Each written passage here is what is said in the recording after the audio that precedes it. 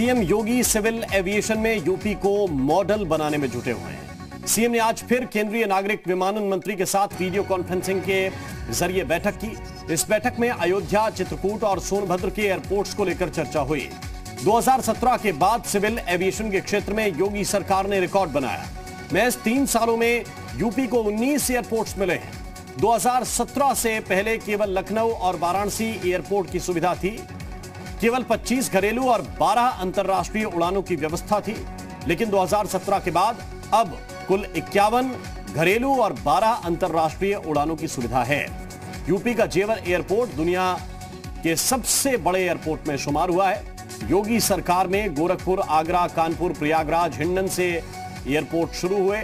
आजमगढ़, अलीगढ़, मुरादाबाद, श्रीवस्ती, चित्रकूट, सोनभद्र के म्योरपुर में और झांसी में भी एयरपोर्ट तेज़ी से विकसित किए जा रहे हैं। अयोध्या के साथ ही गाजीपुर, सहारनपुर और मेरठ एयरपोर्ट का काम भी तेज़ी से चल रहा है।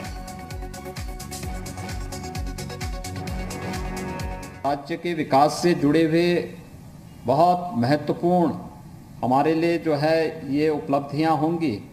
मैं आदरणीय प्रधानमंत्री जी का और आपका भी हृदय से आभार व्यक्त करूँगा कि आपने उत्तर प्रदेश के विकास में रुचि ली है और उत्तर प्रदेश आज एयर कनेक्टिविटी में देश के अंदर बहुत अच्छी स्थिति में आगे बढ़ रहा है। अन्य जो हमारे सत्रह एयरपोर्ट पूरे प्रदेश के अंदर वर्तमान में जिन पे कार्य चल रहा है या जो फंक्शनल हैं, इनसे संबंधित जो भी इश्यूज़ राज्य सरकार के स्तर पर होंगे, यहाँ पर कहीं भी किसी भी विभाग के स्तर पर वे लंबित नहीं होंगे। यहाँ पे हम लोग तत्काल उस पर कार्रवाई करते हुए समयबद्ध ढंग से उसको आगे बढ़ाने का कार्य करेंगे।